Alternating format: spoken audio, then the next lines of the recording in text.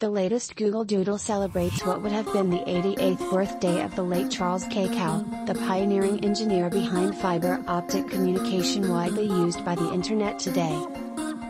Charles K. Kao in fiber optics Charles Kuen Kao was born on November 4, 1933 in Shanghai, and from a young age he learned English and French, along with studying the Chinese classic texts.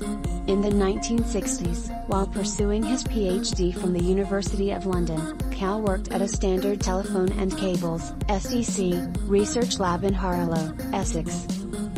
There, Charles K. Kao and his colleagues experimented with optical fibers, specially designed strands of thin glass which are able to reflect light, oftentimes from a laser, from one end of the fiber to the other.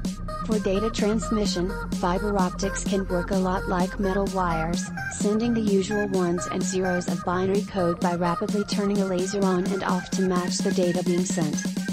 However, unlike metal wires, optical fibers are not affected by electromagnetic interference, which made the technology seem very promising to scientists and engineers.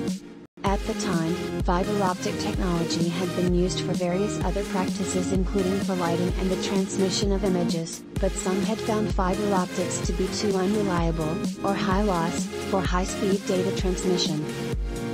What Charles K. Kao and his colleagues at STC were able to prove is that the reason fiber optic signals degraded was due to imperfections in the fibers themselves, and more specifically the material they were made from. Through much experimentation, they ultimately found that silica glass could have a high enough purity to carry signals for miles, and to that end silica glass is still standard for fiber optics today. Of course, companies have further purified their glass since then, enabling the fiber to carry the laser light longer distances before degrading in quality.